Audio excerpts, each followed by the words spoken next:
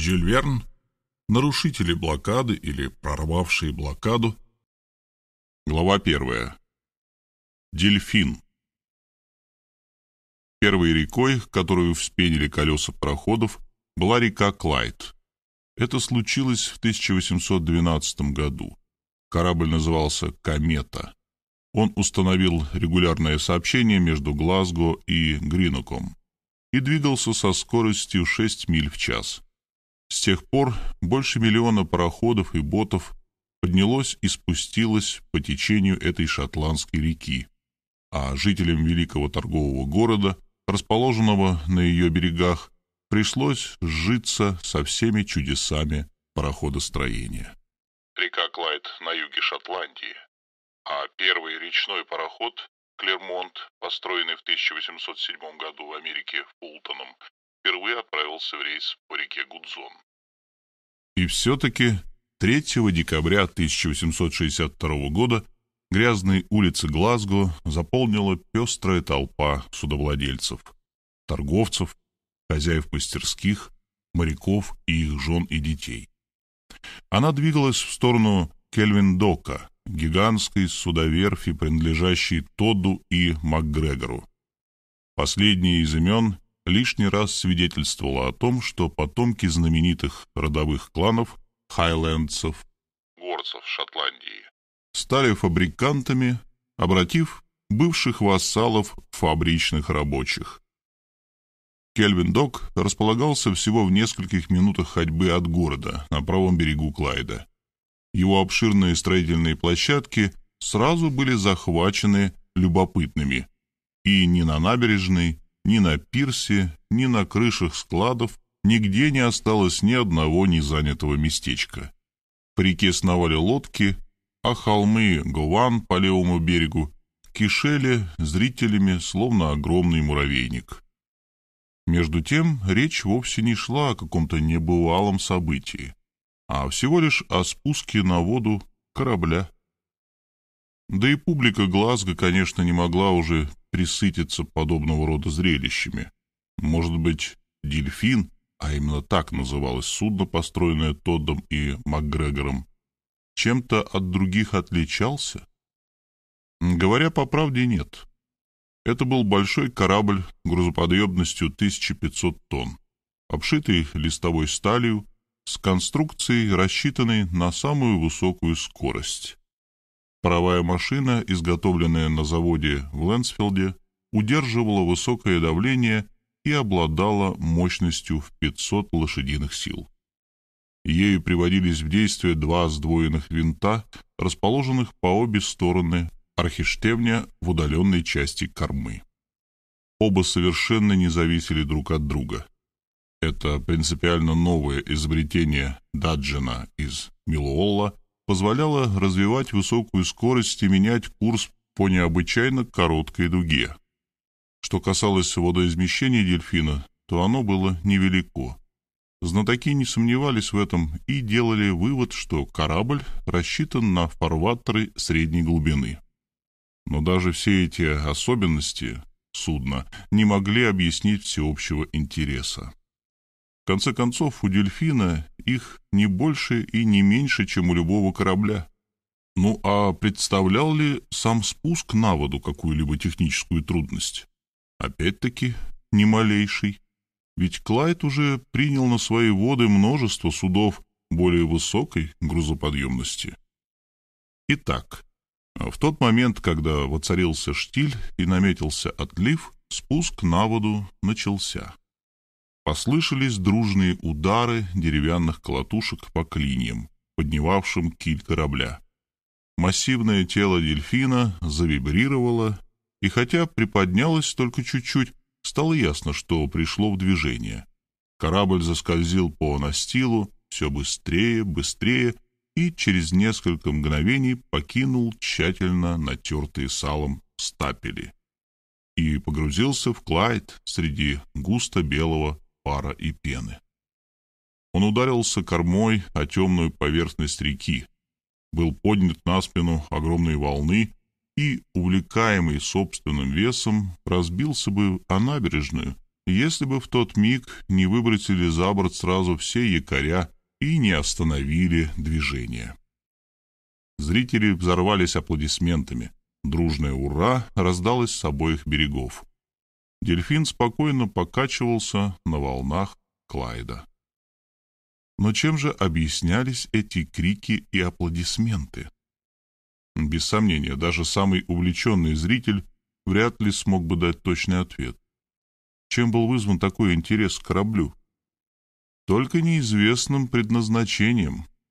Никто не знал, для какой цели его построили, и можно было лишь поражаться обилию слухов, вызываемых на этот счет. Между тем люди, считавшие себя осведомленными, сходились на том, что корабль должен сыграть какую-то роль в ужасной войне, которая раздирала на тот момент Соединенные Штаты Америки. Суждено ли дельфину стать пиратским судном или транспортным средством конфедератов, а может быть сторонников Федерации, все это оставалось загадкой. «Ура!» — кричали кто-то, провозглашая, что дельфин выстроен на средства Южных Штатов. «Гиб-гиб, ура!» — вопил другой, уверяя окружающих, что еще никогда столь быстроходное судно не появлялось у берегов Америки. Никто ничего не знал. Для этого следовало быть близким другом торгового дома Винсент Плайфер и компания из Глазго. Поразительно, каким богатством, влиянием и уважением пользовалась фирма, представляемая Винсентом Плейфером.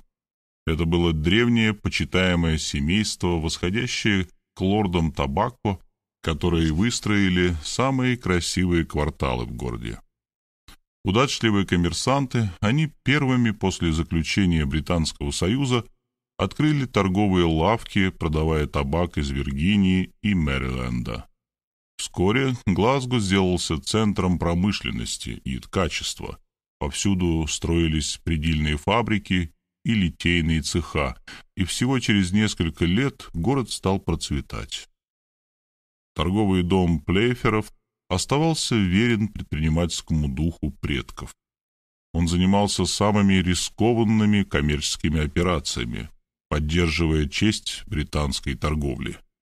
Его нынешний глава, Винсент Плейфер, человек лет 50, в высшей степени практичный, положительный и предприимчивый, дерзкий в своих проектах, был потомственным судовладельцем. Его ничто не интересовало, кроме торговли, даже политическая сторона сделок. Однако Плейфер никогда не шел против закона и был совершенно честен. И все же перед соблазном построить и снарядить дельфин он не устоял. Самая эта мысль принадлежала Джону Плейферу, тридцатилетнему племяннику Винсента, одному из самых отчаянных шкиперов торгового флота Британского королевства. Это решилось однажды днем под сводами городской тантинной кофейни. Джон Плейфер только что прочитавший американские газеты и приведенный ими в ярость, посвятил дядю в свой рискованный замысел. «Дядя Винсент», — сказал он неожиданно, — «мы бы могли заработать два миллиона быстрее, чем за месяц». «Ну а чем мы рискуем?» «Кораблем и его грузом». «И больше ничем?» «Еще жизнями экипажа и капитана», но это можно не принимать в расчет. «Поживем, увидим», — отвечал дядя Винсент, питавший особое пристрастие к этому выражению. «Да тут и думать нечего», — настаивал Джон Плейфер. «Вы ведь читали «Трибьюн», «Нью-Йорк Геральд», «Таймс», «Ричмондский обозреватель», «Американ Ревью». «Да, читал, и не раз». «И вы согласны со мной, что война в Соединенных Штатах продлится еще долго?» Видимо, так. А знаете ли ли вы, сколь неповторимый ущерб она наносит интересам Англии и, в частности, Глазго? Конечно, особенно в фирме Плейфер и Ко, согласился с племянником дядя Винсент. Прежде всего фирме, подчеркнул молодой капитан. Не могу без ужаса видеть упадок из-за всего этого торговли. — воскликнул дядя. «Конечно же, фирма Плейферов не лишится авторитета, но некоторых пайщиков мы можем не досчитаться. О, эти американцы! Да будь они трижды рабовладельцы или сторонники полной свободы для всех, я всех их послал бы в преисподнюю. Если исходить из стоящих превыше всего великих принципов гуманизма, Винсент Плейфер, разумеется, был неправ.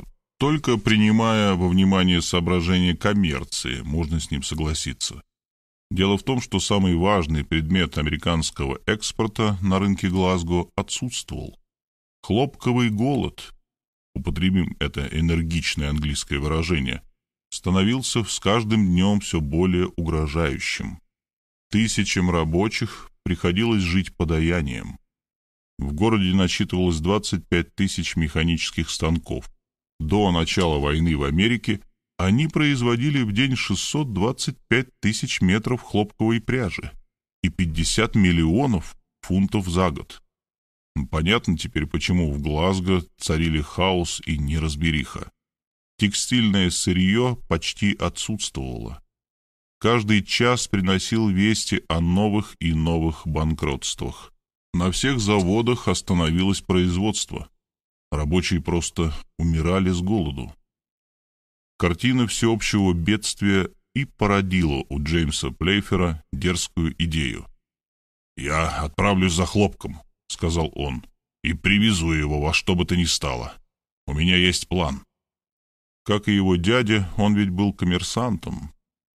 «Ну, поживем, увидим, Джеймс», все очень просто. Мы построим корабль с высокой скоростью и большой вместимостью. Вполне возможно. Загрузим его военным снаряжением, одеждой и продуктами. Это у нас найдется. Я сам пойду капитаном, и можно будет не опасаться, что меня догонит какой-нибудь корабль федерального флота. Мы прорвем блокаду южных портов. Понятно, кивнул дядя. Ты выгодно продашь груз конфедератам. Они в нем очень нуждаются. И вернусь обратно, нагрузив корабль хлопком. Который отдадут тебе просто даром. Совершенно верно, дядя Винсент. Как вам это нравится? Неплохо. Но сможешь ли ты прорваться? Конечно, если только у меня будет корабль. Тебе изготовят его в самый короткий срок. «А как с экипажем?» «О, я найду людей. Мне не надо много народу. Возьму только тех, без кого невозможно обойтись, управляя судном, и все. Надеюсь, воевать с федералистами не придется. Мы постараемся избежать с ними встречи». «У вас это должно получиться», — заключил дядя Винсент. «А теперь, Джеймс, скажи мне, в какой части Америки ты думаешь высадиться?» Несколько кораблей дядя уже прорывали блокаду Нового Орлеана, Уилмингтона и Саванны. А я хочу пройти напрямик к Чарльстону. Ни одно английское судно, кроме Бермуд, еще не пользовалось этим маршрутом. Мы последуем его курсу, а раз у корабля будет небольшая осадка, федералисты не смогут нас догнать. «Главное», — задумался дядя Винсент, Чарльстон просто задыхается от хлопка. Его там даже сжигают. Кроме того, город на осадном положении, подхватил Джеймс. У войск Боррегара запасы на исходе. Мой груз оценят на вес золота. Отлично, племянник. И когда же ты хочешь ехать? Через десять месяцев. Нужны длинные зимние ночи, чтобы удалось проскочить. Мы сделаем все необходимое. Договорились, дядя? Договорились. Только никому ни слова. Ни слова. Вот почему никто не знал настоящего предназначения дельфина, спущенного со стапелей Кельвин Дока через пять месяцев после этого разговора. Глава вторая. Подготовка к отплытию. Установка снаряжения шла полным ходом. Оставалось только подогнать уже готовый такелаж. «Дельфин» был трехмачтовым судном с косыми парусами, что оказалось, в общем-то, излишней роскошью. Ведь чтобы уйти от крейсеров Федерального флота, ему следует рассчитывать не на парус, а на мощные винты, расположенные по обе стороны Ахтерштевня. В конце декабря корабль совершил первое пробное плавание в заливе Клайда. Кто остался больше доволен, хозяин или капитан, решить было трудно. Новенький пароход развивал скорость по лагу 17 миль в час. Лаг – прибор, состоящий из стрелок, вращающихся на градуированном циферблате, который служит для определения скорости корабля. Одна морская миля – это 1852 метра. Подобными достоинствами не обладали ни английские, ни французские, ни американские суда. если бы ему случилось участвовать в состязании с самыми быстроходными из них, дельфин оказался бы далеко впереди. 25-го началась погрузка. Корабль пришвартовался к причалу, расположенному ниже последнего моста Глазго, перекинутого через Клайд. Здесь, на складах, хранились запасы одежды, оружия и боеприпасов, которые быстро переместились в трюмы дельфина. Характер груза раскрыл тайну. Дом Плейфер и компания больше не мог хранить дело в секрете. Впрочем, вскоре предстояло отправляться в плавание. Ну а кроме того, пора было набирать экипаж. Нельзя же впутывать людей в столь опасное путешествие, не сообщив им реальной цели. Ведь они рискуют жизнью, а значит, имеют право знать ради чего. Впрочем, риска никакого не было. Моряки толпой шли наниматься, соблазненные щедрой платой и комиссионными от прибыли. Джеймсу Плейферу оставалось лишь выбирать. Он набрал самых лучших, и через 24 часа в списках значилось 30 матросов, которые составили бы честь даже яхте Ее Величества. Отплытие наметили на 3 января. 31 декабря все было готово. Трюмы ломились от военного снаряжения и продовольствия, а хранилище топлива от угля. 2 января, когда капитан, находясь на борту, окидывал свой корабль последним хозяйским взглядом, у входа на трап появился незнакомец и попросил разрешения побеседовать с Джоном Плейфером. Один из матросов доставил его на полуют. Это был широкоплечий, крепкий малый, с багровым лицом, а простоватый вид, который он на себя напускал, не мог скрыть явное лукавство и нрав завзятого весельчака. Он так озирался вокруг, словно нечасто ступал на палубу, а между тем строил из себя настоящего морского волка, осматривал оснастку дельфина и ходил, как все матросы, в развалочку. «Капитан Джеймс Плейфер?» — спросил он, пристально глядя в глаза шкипера. «Да, это я. Чего ты хочешь?» «Чтобы вы меня взяли». «У нас нет больше места». «Ну, один-то человек не помешает». «Ты так считаешь?» «Уверен». «А кто ты такой?» «Бывалый моряк, крепкий малый и тертый калач. Две таких ручищи, как мои, всегда пригодятся. Вот я их вам и предлагаю». «Но есть другие корабли и другие капитаны. Почему ты пришел именно сюда?» «А потому что хочу служить на дельфине и под вашим началом. Его настойчивость изумляла. «Но ты мне не нужен», — повторил Джеймс Плейфер. «Крепкий малый нужен всегда. А если хотите испытать меня, позовите трех-четырех самых здоровенных парней из вашего экипажа. Я готов помериться с ними силой». «Да уж», — усмехнулся Джеймс Плейфер. «Как тебя зовут?» «Крокстон, к вашим услугам». Капитан отступил на несколько шагов, чтобы получше рассмотреть великана, который нависал над ним, как скала. Его сложение и матросская внешность как будто подтверждали слова крепыша. Похоже, он и в самом деле обладал необычайной силой. «Где ты плавал?» — спросил Плейфер. «Везде понемногу». «А знаешь ли, куда и зачем мы идем. Да. Черт меня побери, если я упущу такого молодца, сказал шкипер. Пойди-ка отыщи второго помощника, мистера Мэтью, пусть он тебя запишет.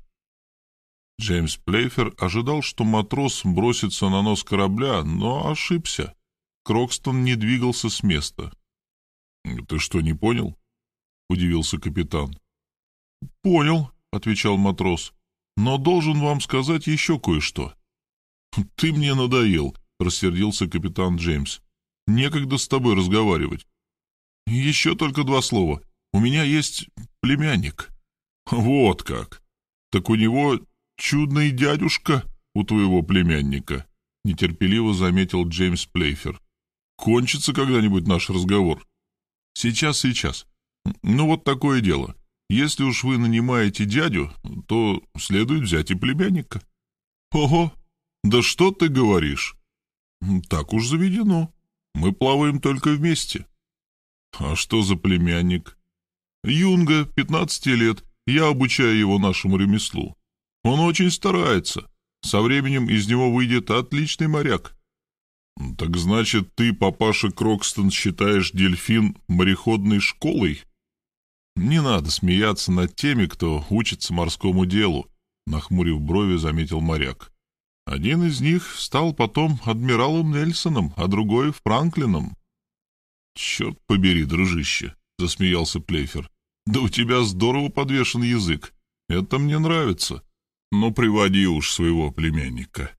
Но только если его дядюшка окажется совсем не таким отважным малым, за которого себя выдает, то будет иметь дело со мной. Иди, и через час, чтобы был здесь». Крокстон не заставил капитана повторять эти слова, довольно неумело отдал честь и спустился на берег. Через час он вернулся с племянником, хрупким худеньким мальчиком, робким, растерянным, совершенно не похожим на дядю. «Эй, смельчак, веселей!» — пытался подбодрить его Крокстон. «Нас тут не съедят, черт побери, а, впрочем, еще можно вернуться». «Нет, нет, нет, не надо», — торопливо ответил мальчик. «Бог защитит нас». В тот же день матрос Крокстон и Юнга Стикс были внесены в списки экипажа.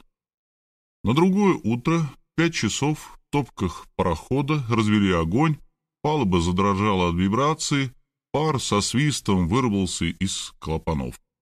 Настал час отплытия. Несмотря на ранний час, на набережных и на мосту собралось много народу, всем хотелось проводить корабль отважных. Винсент Плейфер пришел обнять капитана Джеймса. Приняв позу почтительного римлянина из старых времен, он наградил племянника двумя крепкими поцелуями, что, должно быть, свидетельствовало о возвышенности его чувств. «Ну, отправляйся, Джеймс», — сказал он, и возвращайся скорее. А главное, не стесняйся использовать выгоды твоего положения. Продавай дороже, покупай дешевле. И тогда ты заслужишь уважение своего дяди. На этом пожелании, заимствованном, видимо, из учебника умелого коммерсанта, дядя с племянником расстались, а провожающие покинули корабль. В это самое время Крокстон и Джон Стикс стояли вместе на баке. «Все идет как нельзя лучше», — говорил Крокстон. «Меньше чем через два часа мы будем в открытом море. Думаю, путешествие, которое так хорошо началось, должно быть удачным». Вместо ответа Юнга пожал ему руку. «Давление в котлах достаточно?» — спросил второго помощника капитан. «Да, капитан. Отдать Швартова». Винты заработали. Дельфин прошел мимо кораблей на рейде и двинулся в открытое море. Вслед летели прощальные крики толпы. Спуск по Клайду прошел без всяких осложнений. Можно сказать, что эта река создана умелыми человеческими руками. За 60 лет, благодаря работе землечерпалок и бесконечной настойчивости людей, ее глубина увеличилась на 15 футов фут равен 30,48 сантиметра. А ширина между набережными города стала втрое больше. Вскоре лес мачт и труп пароходов растаял в дыму и тумане. Грохот молотов в литейных цехах, звуки топоров на верфях смолкли в отдалении. Осталось позади селение Партик, заводы уступили место загородным домам, виллам и деревянным домишкам. Дельфин, уменьшив пары, маневрировал между дамбами, которые удерживали воду выше берегов, а часто и в самых узких проходах. Впрочем, это не слишком мешало, так как в сущности для судоходной реки более важна глубина. Корабль, ведомый одним из самых опытных лоцманов Ирландского моря, уверенно прошел мимо буйков, каменных колонн и бигенов, небольшие горки из камней, которыми был обозначен фарватер. Затем миновал замок Килпатрик и приблизился к заливу Боулинг. В четырехстах футах перед ними проступил парящий в воздухе, еле различимый в тумане силуэт замка Дамбертон. И сразу же на левом берегу заплясали на волнах идущие от дельфина корабли порт Глазго. Небольшой порт на левом берегу эстуария реки Клайд, в нескольких десятках километров западнее города Глазго. Через несколько миль проплыли Гринок, родину Джеймса Уатта, вошли в эстуарий Клайда, переходящий в залив, через который речные воды попадают в Северный пролив. Джеймс Уатт, 1736-1819, изобретатель парового двигателя, Эстуарий – глубокий длинный залив при впадении реки в море. Северный пролив соединяет Ирландское море с Атлантическим океаном. Стало заметнее волнение моря. Остались позади живописные берега острова Аран. Обогнули мыс Кинтайр, разделяющий канал на две части почти по его середине.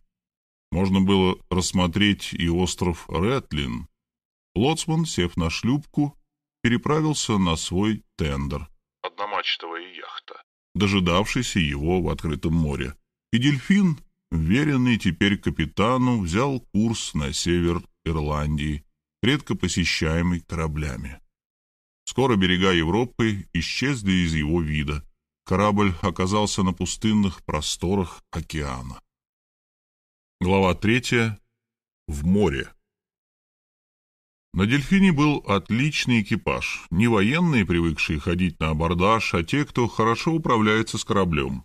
Моряки — люди решительные, но еще и торговые, искали богатства, не славы. Их не интересовало, под каким флагом плыть и за кого сражаться. Да, впрочем, и артиллерия состояла из двух малых пушек, годных лишь для подачи сигналов. Корабль двигался стремительно. Он вполне оправдал надежды хозяина и капитана и очень скоро вышел на границы британских вод. Никого. Путь открыт. Впрочем, ни один американский корабль и не мог бы атаковать судно под английским флагом. Сопровождать, ну да, или помешать ему пересечь линию блокады, но уж не более того. Ну а Джеймс Плейфер всем пожертвовал ради скорости своего судна, дабы Никто не мог их догнать. Тем не менее, на борту внимательно наблюдали за морем. Несмотря на холод, один из матросов стоял на Марсе. Круглая площадка для вахтенного матроса при соединении мачты со стеньгой. Стеньга — продолжение мачты. Готовый сразу дать знать о замеченном на горизонте парусе. Когда наступил ветер, капитан Джеймс дал подробнейшие наставления помощнику мистеру Мэтью. «Не держите подробно вахтенных на Марсе», — сказал он. «Они замерзнут, и тогда от них будет мало толку. Почаще меняйте людей». «Есть, капитан». «Я бы вам посоветовал взять Крокстона. Этот здоровяк утверждает, что у него отличное зрение. Надо проверить. Вы поймете, чего он стоит, поставив его утром на вахту. Пусть подежурит при утреннем тумане». Если случится что-нибудь непредвиденное, меня, я надеюсь, предупредят. Джеймс Плейфер спустился в каюту. Помощник вызвал Крокстона, передал ему приказание. «Завтра в шесть займешь место вахтенного на Марсе фок-мачты».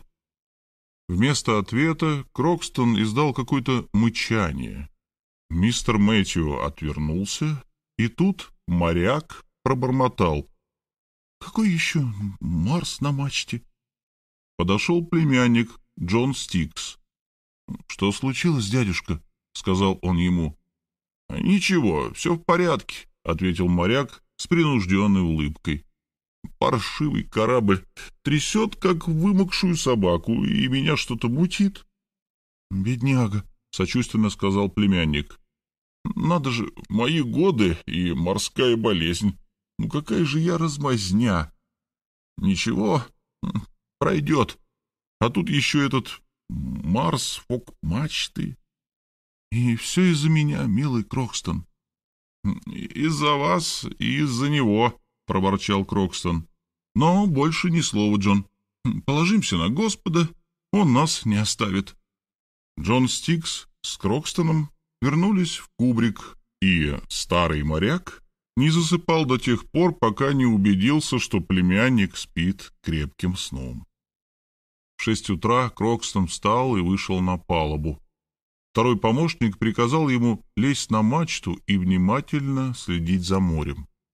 Моряк подумал немного, но потом, как бы решившись, направился на корму. «А «Куда это ты собрался?» — закричал мистер Мэтью. «Э, «Так вы же велели», — ответил Крокстон. «Я сказал на Марс, фок мачты». «А я туда и иду», «Ты что, смеешься?» — воскликнул помощник капитана. «Идешь искать Марс-фок-мачты на Бизане? Да ты прямо как сухопутная крыса, которая не умеет ни плести плетку, ни нарастить канат. На какой посудине ты ходил до сих пор, приятель? Отправляйся-ка на Марс-фок-мачты, живо!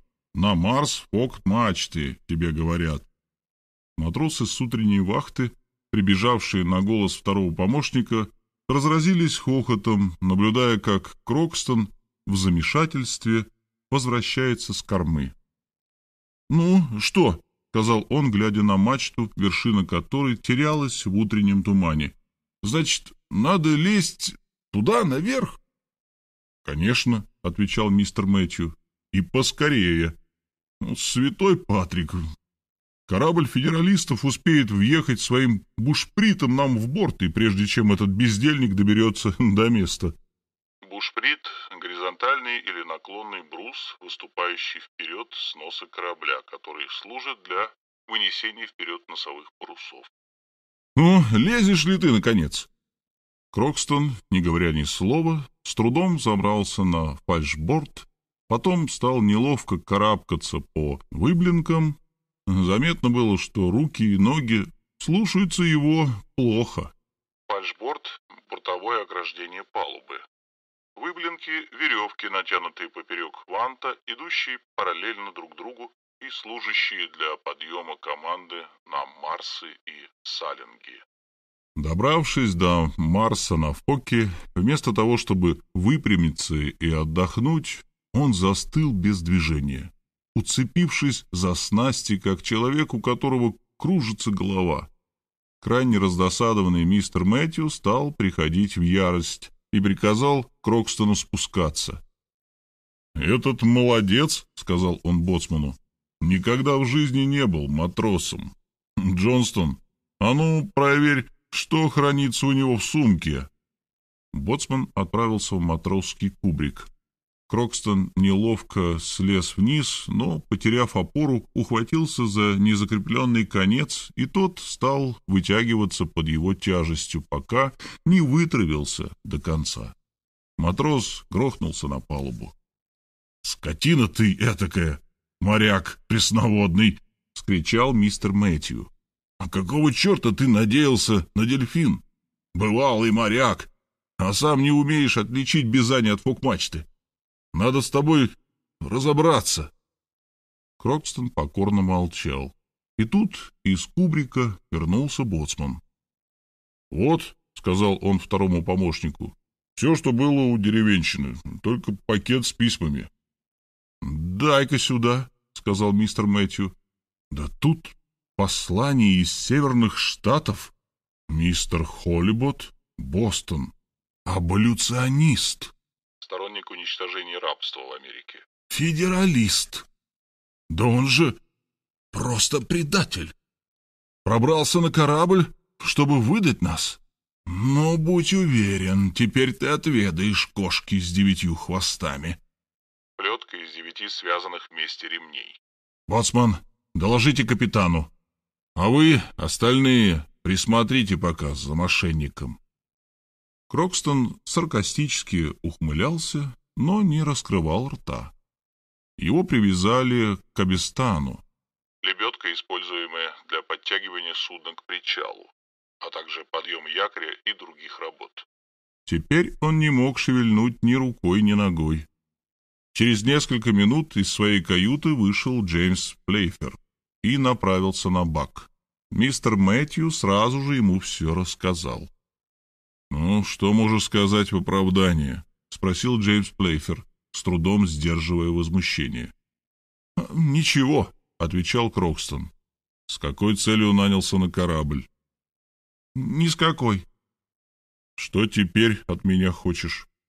«Ничего», «Так кто ты такой? Американец, судя по письмам, да?» Крокстон молчал. «Боцман», — распорядился Плейфер. «Пятьдесят ударов плеткой, чтобы развязался язык этого достопочтимого Крокстона». «Посмотрим», — не дрогнув, отвечал учитель юнги Джона Стикса. «Ну-ка, давайте», — велел Боцман. По его приказу два здоровенных матроса стащили с Крокстона шерстяную куртку. Принесли уже и плетку и занесли над спиной несчастного, но тут на палубу выбежал Юнга, бледный, расстроенный. «Капитан!» — скричал он. «А, вот и племянник!» — воскликнул Джеймс Плейфер. «Капитан!» — повторил Юнга. «Я скажу вам все, о чем молчит Крокстон. Ничего не скрою. Да, он американец, так же, как я. Мы оба враги рабовладельцев, но совсем не предатели. Мы не собираемся выдавать вас федералистам. Тогда зачем вы здесь? Сурово спросил капитан, пристально глядя на молодого человека. Позвольте мне поговорить с вами с глазу на глаз. Джеймс Плейфер внимательно посмотрел на Юнгу. Молодое нежное лицо, приятный голос, тонкость и белизна пальцев, слегка прикрытые легким загаром, большие глаза, в которых даже сквозь беспокойство просвечивала природная нежность. Все это заставило капитана призадуматься. Он перевел взгляд на Крокстона, тот пожал плечами. Капитан немного подумал и согласился. «Идемте». Джон Стикс последовал за ним на полуют, и там Плейфер отворил дверь каюты обратился к молодому человеку, щеки которого были бледны от волнения. «Ну, прошу вас, ходите, мисс». Джон залился краской, две слезы скатились по его щекам. «Успокойтесь, сударыня», — произнес капитан вежливо, «и постарайтесь объяснить, каким обстоятельством я обязан вашему появлению на моем судне». Некоторое время девушка не решалась ответить, но, ободренная спокойным взглядом собеседника, в конце концов заговорила. «Сэр, я еду к отцу, Чарльстон. Город окружен суши и блокирован с моря. Я совершенно не представляла, как туда попасть, пока не услышала, что дельфин должен прорвать блокаду. Тогда мы нанялись на ваш корабль, сэр. Прошу прощения, что не спросила вашего согласия, но вы бы Наверное, отказали. Конечно, согласился Джеймс Плейфер. Значит, все правильно, заметила мисс. Капитан скрестил руки на груди и прошелся вдоль каюты. Как ваше имя? спросил он. Дженни Холлибот. Ваш отец, что видно из писем, взятых у Крокстона из Бостона? Да, сэр. Но каким образом сторонник северян оказался в одном из городов южан? Мой отец в плену, сэр. Он находился в Чарльстоне, когда началась война, и союзные войска были изгнаны конфедератами из форта Самтер. Отец — яростный противник рабовладельцев, и, вопреки всем законам, по приказу генерала Борегара его заточили в тюрьму. В то время я была в Англии, у родственницы. Теперь она умерла, и мы остались вдвоем с Крокстоном, верным слугой нашей семьи.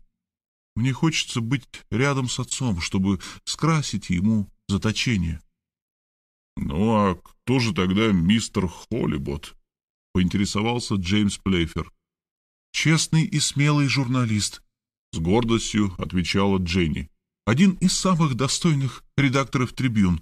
Тот, кто бесстрашно защищал права негров. — Аболюционист, — поморщился капитан. Один из тех, кто под предлогом отмены рабства обратил в руины собственную страну, залил ее кровью. — Сэр, — Дженни Холливуд побледнела, — вы оскорбляете моего отца. Краска стыда залила лицо молодого шкипера. Стыда и гнева. Ему хотелось ответить этой девчонке без церемоний, но он сдержался и открыл дверь каюты. «Боцман!» Тот сразу же явился. «Эта каюта отныне предоставлена мисс Дженни Холлибот. Приготовьте койку на юте. Больше мне ничего не нужно». Боцман с удивлением уставился на Юнгу, названного женским именем, но по знаку капитана вышел. «Теперь, мисс, вы у себя. Располагайтесь», — сказал капитан дельфина и удалился. Глава четвертая. Козни Крокстона. Вскоре весь экипаж знал историю мисс Холлибот. Крокстон, уже не испытывавший смущения, пересказал ее помощнику капитана и матросам. Его, конечно, отвязали от капистана, а девятихвостая кошка возвратилась на свое место. «Приятная киска», — усмехнулся Крокстон, «особенно когда прячет коготки». Он спустился в кубрик, взял оттуда маленький чемоданчик и перенес к мисс Дженни. Девушка смогла, наконец, надеть женское платье, но оставалась в каюте, не поднималась на палубу. Что же касается Крокстона, то было решено, что он такой же моряк, как солдат Королевской гвардии, и его надлежит освободить от вахтенной службы. Между тем дельфин двигался через Атлантику, вспенивая винтами волны. Моряки следили за морем, а Джеймс Плейфер прогуливался по палубе. Он не пытался увидеться с девушкой или возобновить разговор. Несколько раз на его пути попадался Крокстон, который посматривал на шкипера, явно желая заговорить. «Ну что тебе?» — не выдержал Плейфер. «Извините, капитан», — прищурился Крокстон. «Мне хочется кое-что сказать». «Говори», в душе вы человек отважный, вот что я думаю. Почему в душе? И вообще, мне не нужны комплименты. А я и не собираюсь их делать, пока вы не выполните вашу миссию. Это ты о чем? Ну как же, вы взяли нас на корабль, девушку и меня. Отдали свою собственную каюту, мисс Холлибуд. Избавили меня от плетки. Доставите нас в Чарльстон. Отлично. Лучше и быть не может. Но это еще не все. Как не все? Джеймс Плейфер был озадачен. Ну, конечно. Ведь ее отец сидит в тюрьме. Ну и что? Надо освободить. Освободить отца мисс Холлибуд? Несомненно, этого достойного человека бесстрашного гражданина своей страны. Он вполне заслуживает того, чтобы ради него пойти на некоторый риск. «Папаша Крокстон», — сдвинул брови Джеймс Плейфер, — «ты, видимо, шутишь. Но заруби себе на носу. У меня такого желания нет». «Вы меня не поняли, капитан», — лукаво возразил американец. «Мне и в голову не пришло бы шутить. Я говорю серьезно. Это только вначале кажется абсурдным, но когда вы как следует поразмыслите, то поймете, что не можете поступить иначе. «Как? Я еще должен освободить из тюрьмы мистера Холлибота?» Ну, ну да, вы попросите генерала Боригара, и он не сможет вам отказать. Ну, а если откажет? Ну, тогда, — отвечал Крокстон, не проявляя уже никаких признаков смущения, — придется прибегнуть к крайнему средству — выкрасть заключенного. Вот как! — раздраженно вскричал Джеймс Плейфер. Значит, мало пройти через блокаду федералистов в Чарльстон.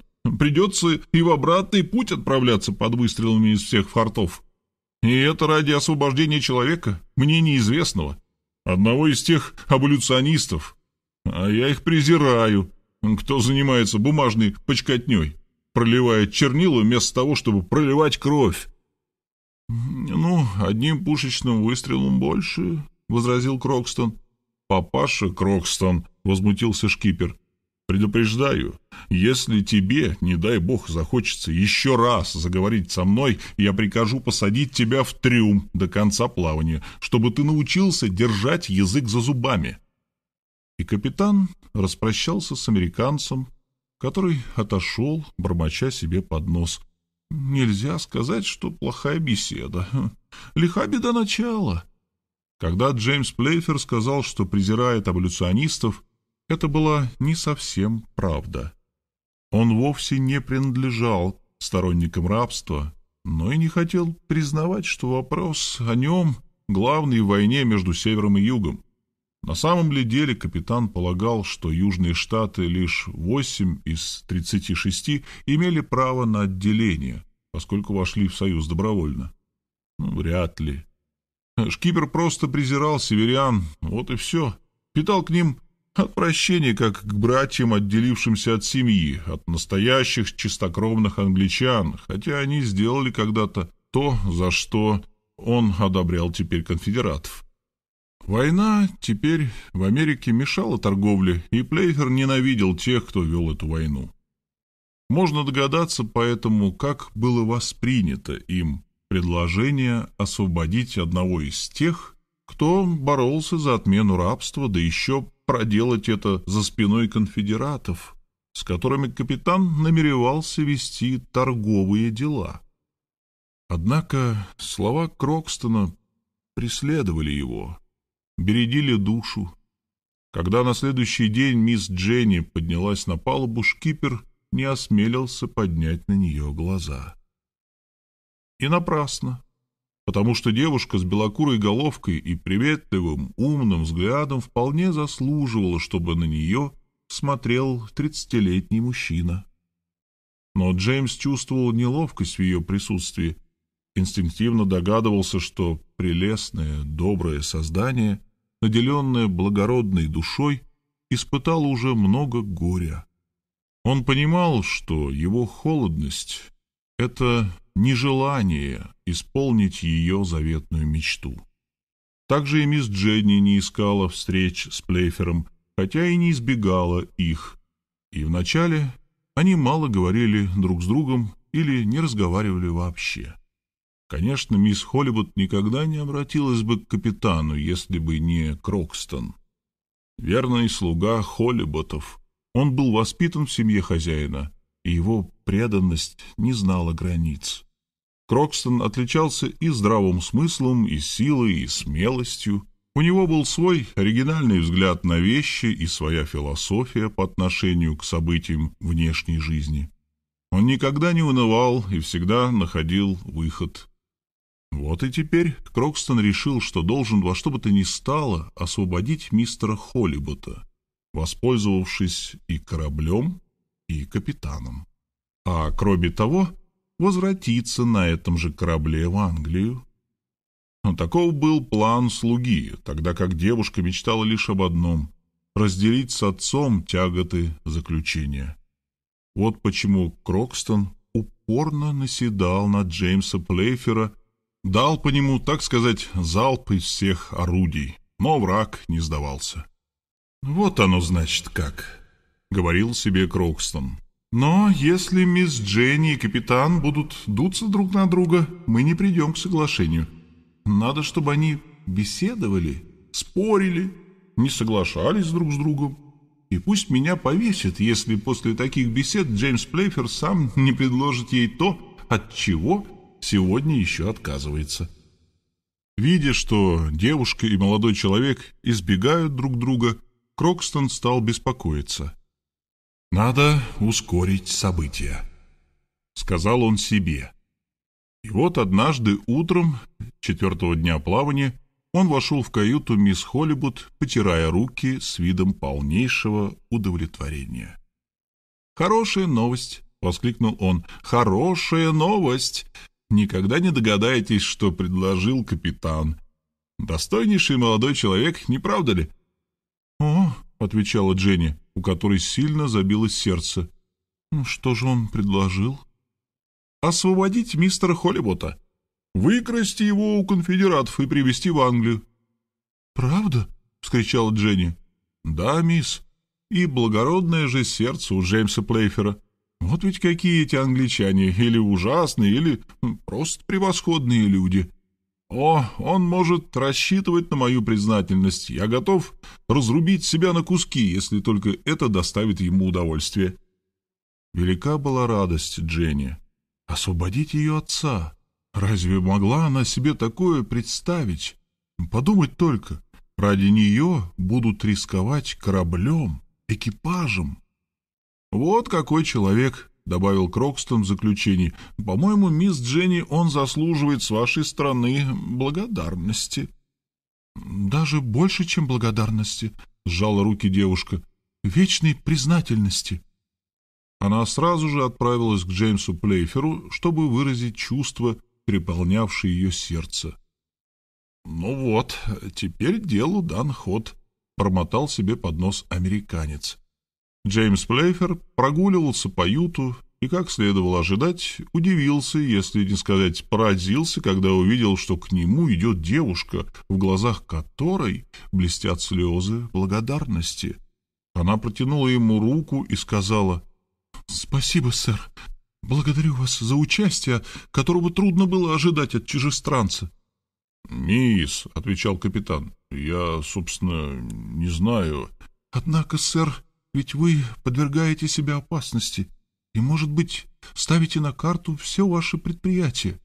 Вы уже столько сделали, когда согласились оставить нас на корабле». «Извините, мисс Дженни», — смутился Плейфер, — «но мне непонятно, о чем идет речь». Мои поступки не заслуживают особой признательности, никакой благодарности. Любой воспитанный человек... — Мистер Плейфер, — перебила Дженни, — больше нет смысла скрывать это от меня. Крокстон все рассказал. — А, вот как, — заметил капитан. — Крокстон вам все рассказал. Но в таком случае я еще меньше понимаю причины. — Капитан совсем растерялся. Он вспомнил, как недружелюбно отклонил предложение американца. «Мистер Джеймс», — взволнованно продолжала Дженни, прервав Плейфера. «Попав на судно, я мечтала об одном — добраться до Чарльстона. Как бы ни были жестоки сторонники рабства, они не смогут отказать бедной девушке в желании разделить страдания отца, томящегося в тюрьме. Но раз ваше великодушие столь велико, что вы хотите освободить моего отца из тюрьмы, то будьте уверены в моей самой горячей признательности. Позвольте пожать вам руку». Джеймс совершенно не знал, что ему отвечать. Как держать себя? Он кусал губы, не в силах взять руку, протянутую девушкой. Этот Крокстон опять провел его. Отступать было некуда. Бороться за освобождение мистера Холлибота совсем не входило в планы капитана, но как обмануть надежды бедной девушки? Можно ли оттолкнуть руку, протянутую с искренней дружбой? Скажи он сейчас правду, и слезы признательности обратятся в слезы горя, страдания. Молодой человек решил ответить так, чтобы все-таки ну, сохранить за собой свободу действий. «Мисс Дженни, — начал он. «Поверьте, я сделаю все возможное». Он взял протянутую ему маленькую ручку, но, ощутив нежное рукопожатие, окончательно смешался. «Мисс, мисс Дженни, для вас...» Крокстон издали следивший за парочкой, потирал руки, гримасничал и повторял. «Ну вот, кажется, получается».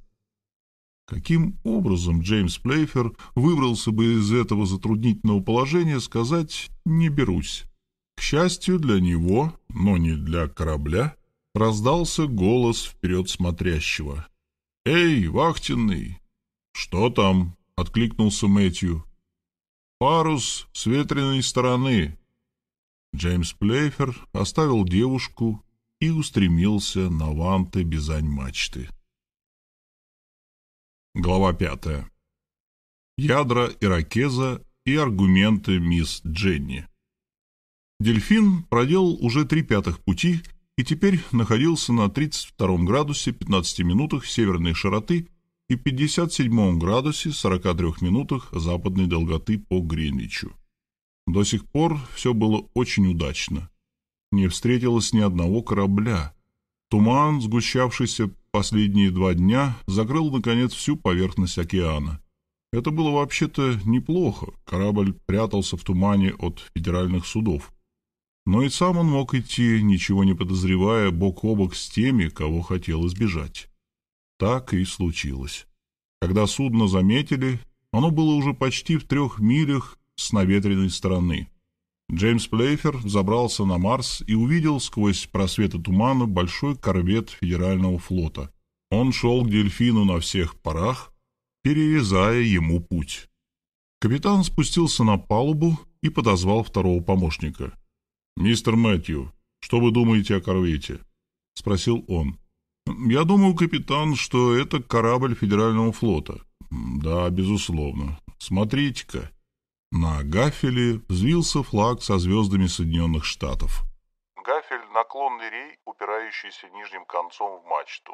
На гафеле обычно вывешивается флаг. Торжественность момента подчеркнул пушечный выстрел. «Нас просят тоже поднять флаг», — пояснил мистер Мэтью. «Ну что же, из-за нашего флага краснеть не придется. Поднимаем». «Не стоит», — остановил помощника Джеймс Плейфер. Флаг не спасет от преследования. «Тогда давайте прибавим оборотов», — предложил мистер Мэтью. «Если зрение меня не обманывает, я уже видел этот корвет где-то под Ливерпулем. Он наблюдал за строительством корабля. Уверен, что на его борту написано «Иракес». Хороший у него ход. Да, это один из лучших крейсеров Федерального флота. А сколько на нем пушек? Восемь. Только-то. «О, не говорите так», — воскликнул мистер Мэтью озабоченно. «Две из восьми с регулируемой наводкой. Одна шестидесятого калибра на шканцах, другая сотого на палубе. Причем обе с нарезными стволами». «Дьявол!» — выругался Джеймс Плейфер. «Это же перроты, пушки, стреляющие на три мили». «Дальше, капитан». «Ну ладно, мистер Мэтью, какого бы они ни были калибра, сотого или четвертого, как бы далеко ни стреляли, на три мили или на пятьсот ярдов надо попробовать оторваться. Покажем иракезу, что значит быстроходное судно. Увеличить давление в котлах. Второй помощник передал распоряжение капитана, и вскоре над трубами дельфина заклубился черный дым. Похоже, это не пришло по вкусу американскому корвету, Противнику передали сигнал лечь в дрейф. Но Джеймс Плейфер и не думал менять курс. «А сейчас», — сказал он, — «посмотрим, что будет делать Иракес. У него есть повод испробовать свою 100-миллиметровку, проверить, как далеко она бьет». «Есть полный ход вперед», — откликнулся мистер Мэтью. «Сейчас нам пришлют приветствие». Вернувшись на бак, капитан застал мисс Холлибуд, спокойно сидящую перед фальшботом. «Мисс Дженни», — огорчился шкипер, — «возможно, нас сейчас атакует вон тот корвет, идущий с наветренной стороны. В беседе с дельфином он может использовать пушки, так что позвольте предложить вам руку и проводить в каюту». «Благодарю, господин капитан», — отвечала девушка, — «но я нисколько не боюсь выстрелов». И тем не менее, мисс, есть некоторая опасность. Я не так воспитана, чтобы бояться. У себя, в Америке, Мы ко всему привыкли, уверяю вас. Снаряды с ракеза не испугают меня. А вы храбрая, мисс Дженни. Позвольте остаться с вами. Вам невозможно ни в чем отказать, сказал капитан. Не успел он произнести эти слова, как над бортом корвета взвилось белое яблочко. Прежде чем звук выстрела донесся до дельфина, к нему, вращаясь с ужасной скоростью, как бы ввинчиваясь в воздух, подлетел снаряд. Проследить за ним было нетрудно. Из нарезных стволов ядра летят не с такой скоростью, как из гладких. Подлетев на 20 сажений к дельфину, снаряд, траектория которого заметно отклонилась, стал задевать за гребни волн, отмечая свой путь чередой всплесков. Затем, коснувшись поверхности океана и получив новое направление, он подпрыгнул на некоторую высоту, пролетел над кораблем, сорвав правый брас с реи на фок-мачте, и упал в тридцати сажениях. «О, дьявол!» — пробормотал Флейфер. «Уходим и побыстрее. Сейчас дадут еще залп». «Ну нет», — заметил мистер Мэтью. «Чтобы зарядить такое оружие, нужно время». «Ей-богу, как интересно!» — восхитился Крокстон. Скрестив на груди руки, он стоял и смотрел с видом постороннего наблюдателя. «Надо же, какими ядрами угощают союзники!» «А, это ты!» — вскричал Джеймс Плейфер, измерив американца взглядом с головы до ног. «Да, капитан», — отвечал невозмутимый американец. «Решил поглядеть, как стреляют храбрые унионисты». Сторонники Федерации во время гражданской войны в США. «Не так уж плохо. Совсем неплохо». Капитан собирался что-то ответить, но в это время второй снаряд шлепнулся в воду на траверзе Гака-борта с правой стороны. Траверс — направление перпендикулярное курсу судна. «Славно!» — потер руки Плейфер. «Мы обошли Иракеза уже на два кабельтова. Да, они ползут со скоростью баржи, твои унионисты. Слышишь, папаша Крокстон?» «Не стану отрицать», — отвечал американец. «И, пожалуй, впервые в жизни это доставляет мне некоторое удовольствие». Третье ядро упало значительно дальше от корабля, чем два предыдущих, и меньше чем через 10 минут дельфин оказался вне досягаемости корвета. «Вот что лучше всяких лагов определяет нашу скорость, мистер Мэтью», — сказал капитан. А теперь сбросьте давление, не будем понапрасну жечь топливо. — Каким прекрасным кораблем вы командуете? — восхитилась мисс Холлибот. — Да, мисс Дженни, он делает семнадцать узлов. К вечеру мы потеряем корвет из виду. И в самом деле не успело зайти солнце, как мачты американского корабля исчезли за горизонтом. Поведение Дженни во время этого инцидента заставило капитана взглянуть на нее по-другому, Лед в отношениях двоих был сломан. Теперь они подолгу беседовали, и Плейфер видел перед собой спокойную, сильную, рассудительную, умную девушку, привыкшую говорить открыто, по-американски. У нее были твердые сложившиеся убеждения, что трогало сердце Джеймса, хотя и помимо его воли.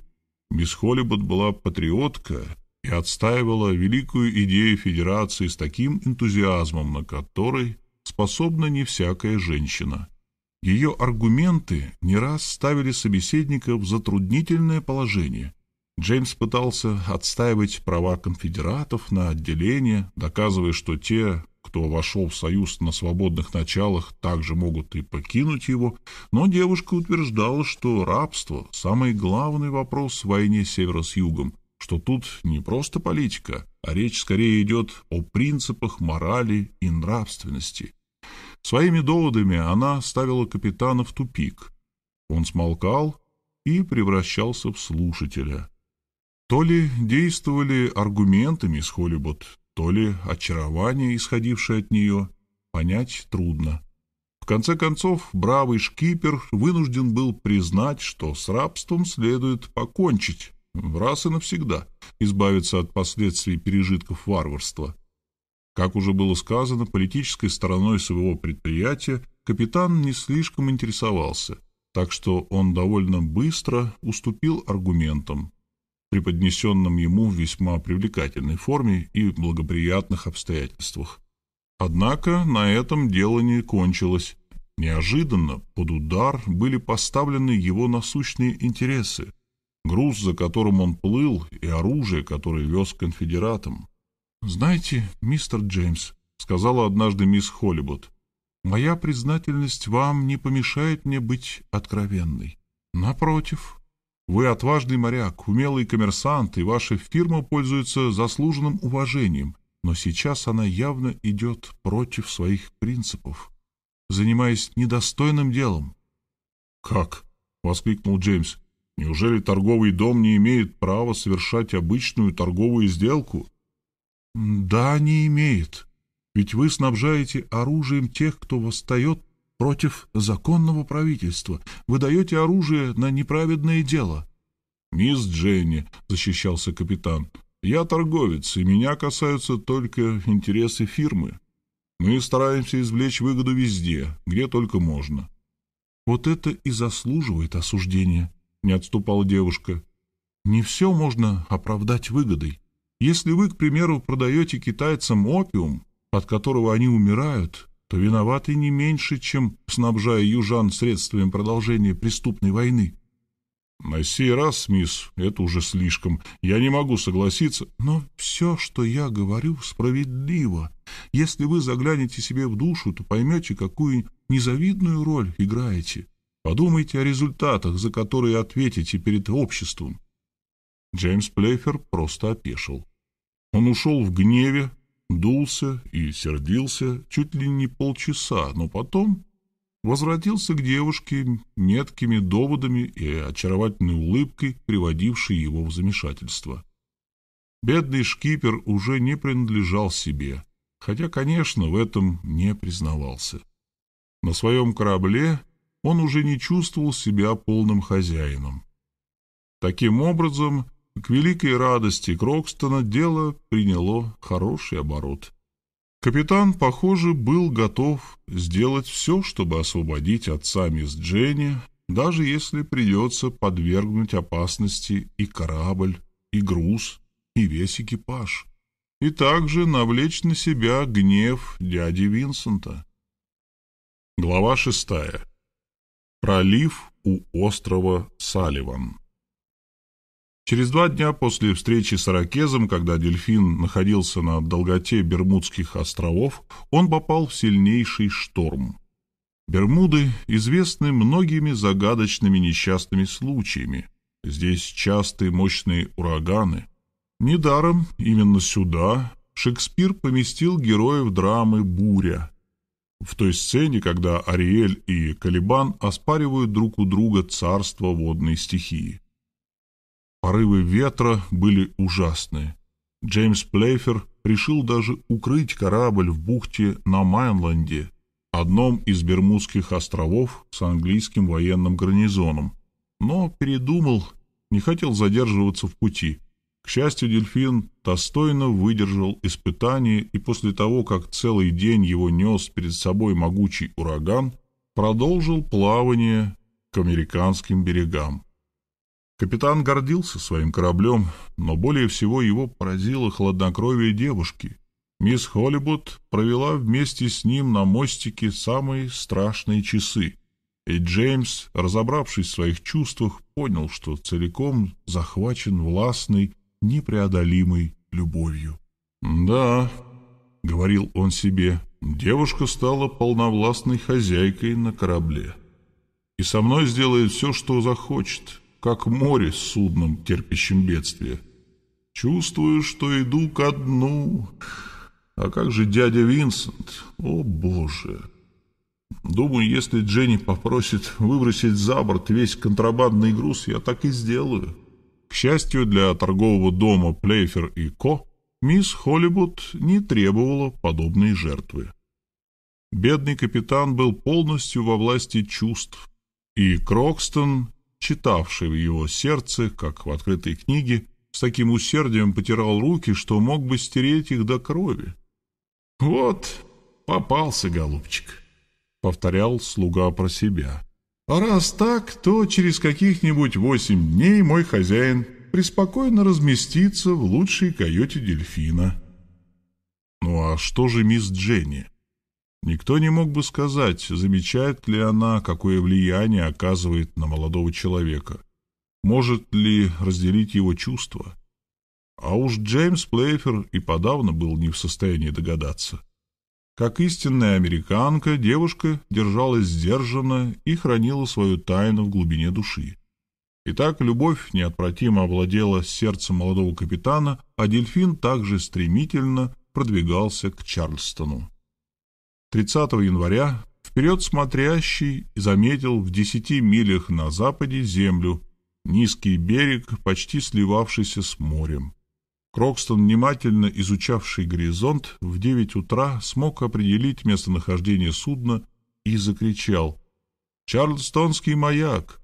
Если бы дельфин подходил к берегу ночью, все бы увидели этот маяк, расположенный на острове Моррис, на высоте 140 футов над уровнем моря, гораздо раньше. Его мерцающий свет заметен обычно в радиусе 14 миль. Теперь оставалось решить главный вопрос. Через какой из проливов заходить в бухту? «Если не встретим препятствий, — сказал капитан, — то через три часа станем уже у причала». Город Чарльстон располагался на берегу лимана, вытянутого на 7 миль в длину и 2 в ширину, вход в который был довольно сложен, ибо зажат с юга островом Моррис, а с севера — островом Салливан. На Моррисе стояли федералисты, их артиллерийские батареи простреливали часть бухты и господствовали над рейдом. Остров Салливан был, например, в руках конфедератов, которые укрепились в порте Моултри. Дельфину, пожалуй, выгодно было пройти вдоль северного берега, чтобы избежать огня батареи федералистов. Пять проливов вели в Лиман. Один вблизи острова Салливан, второй по северному фарватеру, третий по Оверралу, четвертый по основному фарватеру и, наконец, существовал еще проход Лоуфорд – но здесь чужое судно без лоцмана пройти не могло. Да к тому же осадка корабля не должна была превышать семи футов. Северный проход, как и Оверал, обстреливался федералистами. Следовало бы, вероятно, двинуться через основной, где проще идти по пеленгу. Но Плейфер решил положиться на судьбу и попробовать войти в любой. Впрочем, он знал все секреты бухты, ее опасные места и течения, глубины при отливах, так что оставалось попасть в пролив. Маневр требовал как большого мастерства, так и точного знания ходовых качеств корабля. Между тем, перед Чарльстоном крейсировали два федеральных фрегата. Мистер Мэтью обратил на них внимание Джеймса. «Вот-вот они потребуют от нас ответа. Что мы делаем у их берегов? А мы не станем отвечать, засмеялся капитан. Ошибаются, если думают удовлетворить свое любопытство. Фрегаты на всех парах двинулись к дельфину, который продолжал свой путь, стараясь, однако, отставаться вне сферы огня. Чтобы выиграть время и сбить с толку врагов, шкипер держал курс на юго-запад. Казалось, корабль намеревается войти в проход у острова Моррис. А ведь там стояли пушки федеральной армии. Одного ядра было бы достаточно, чтобы отправить на дно английское судно. Так что дельфину предоставили возможность двигаться, прекратив преследование и ограничиваясь в основном наблюдением. Целый час расстояние между кораблями практически не менялось. Ко всему прочему, дельфин шел тихим ходом. Створки клапанов паровой машины по приказу капитана были закрыты. Из труб вылетали густые облака дыма, давление в топках приближалось к максимуму, так что скорость в любой момент могла быть увеличена. «Вот удивятся», — предвкушал Плейфер, — «ускользнем у них из-под рук». Когда он решил, что достаточно приблизился к Моррису с его артиллерией, дальность стрельбы которой не знал, то внезапно изменил курс, заставив корабль сделать настоящий пируэт, и пошел на север, оставив фрегаты в двух милях. Те поняли, наконец, коварные планы противника и пустились его преследовать. Но было слишком поздно.